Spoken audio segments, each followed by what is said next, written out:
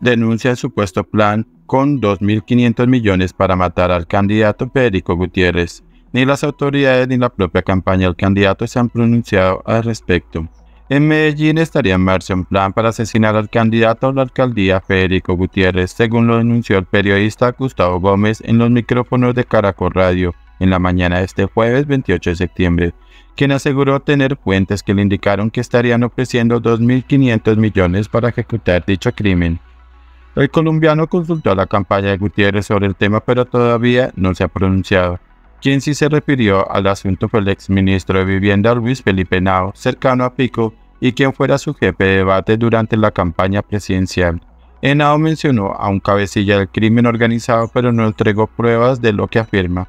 Lo que sí resaltó es que es importante que la Procuraduría y la Fiscalía tomen medidas.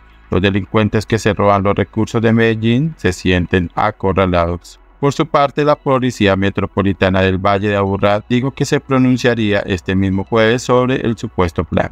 Cabe recordar que el pasado 24 de agosto el candidato Gutiérrez entregó una rueda de prensa en la que aseguró que desde las cárceles estaban tratando de sabotear su campaña a la alcaldía e incluso mencionó directamente que, en medio del proceso de la paz urbana que adelanta el gobierno nacional con los jefes de las bandas que delinquen en el Valle de Aburrá, se estaría fraguando un complot para impedir que él volviera a ser alcalde, señalando que parte de los cabecillas que negocian la paz con el gobierno fueron encerrados durante su alcaldía entre 2015 y 2019.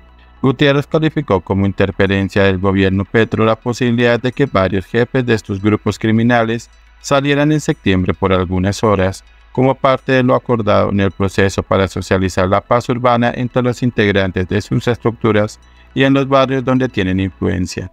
Varios de los cabecillas que en la actualidad se encuentran detenidos que fueron capturados en nuestra administración estarían negociando obtener esta libertad, situación que deja sin garantías esta campaña.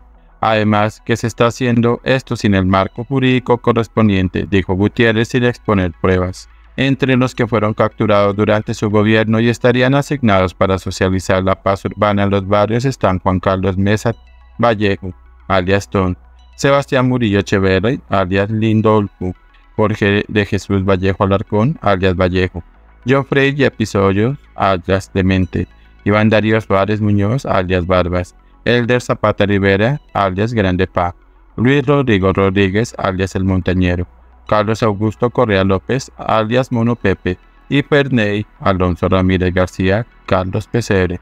Sin embargo, se desconoce por ahora, si Gutiérrez y su campaña harán públicas pruebas que vinculen las presuntas amenazas con estos hechos que alertó.